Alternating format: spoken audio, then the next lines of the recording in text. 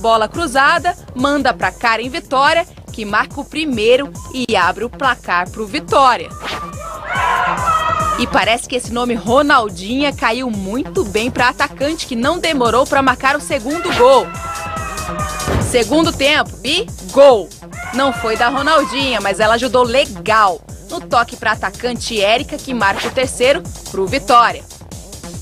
O jogo continua para Ronaldinha e adivinha, 4 a 0 para as adversárias. E quando tudo parece estar perdido, acredite, pode piorar.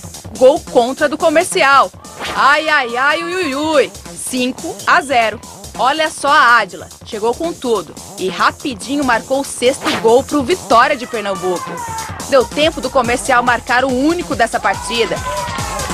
Fim de jogo, 6 para o Vitória, 1 para o comercial.